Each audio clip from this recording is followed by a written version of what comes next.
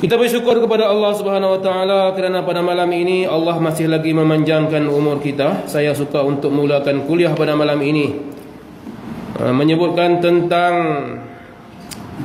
uh, tentang nikmat umur yang Allah berikan kepada kita. Ada di kalangan kita yang telah mencapai umur 80 tahun. Ada yang uh, berumur muda belia 30 40 jadi orang-orang yang berumur lebih tua sudah tentulah lebih beruntung. Kerana dengan umur yang banyak itu banyaklah amalnya. Kadang-kadang seringkali kita dengar orang menyebut untunglah dia mati muda, dosa tidak banyak. Akan tetapi orang yang hidup sampai tua juga untung kerana pahalanya banyak. Sesuai dengan apa yang Nabi Muhammad sallallahu alaihi wasallam sebutkan di dalam sebuah hadis yang diriwayatkan oleh Tirmizi dan disahihkan oleh Albani. Kata Nabi khairun nas man tala umruhu wa hasuna amaluh. Sebaik-baik manusia adalah orang yang panjang umurnya dan elok amalnya.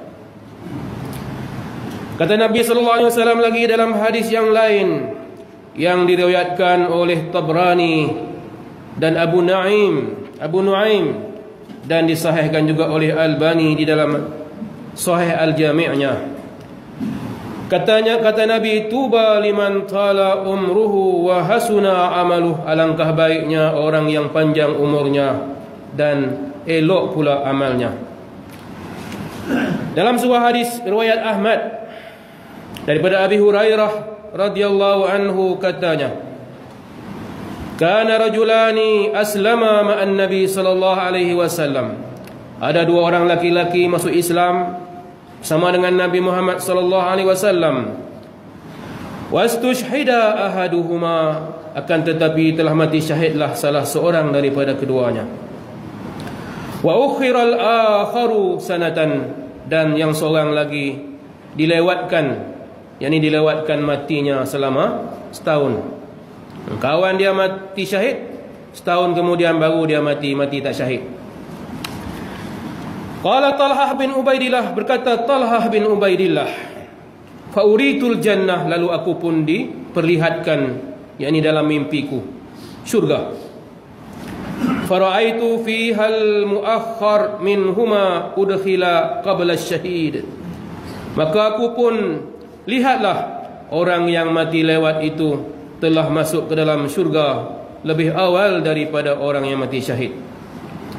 Fa'ajibtu li zalik lalu aku merasa heran. Fa'asbahtu lalu pagi-pagi fazakartu zalika li Rasulillah sallallahu alaihi wasallam aku pun sebutlah mimpiku itu kepada Rasulullah sallallahu alaihi wasallam. Faqala Rasulullah sallallahu alaihi wasallam Maka Nabi pun bersabda, "Alaisa qad sama ba'dahu Ramadan?" Bukankah yang dilewatkan itu telah berpuasa sesudah matinya kawannya itu Ramadan? Wa shalla sittata alafi rak'atin dan dia telah salat 6000 rakaat atau kaza wa kaza rakaatin ataupun Nabi telah menyebutkan sekian-sekian banyak rakaat Salat as-sanah Salat selama setahun.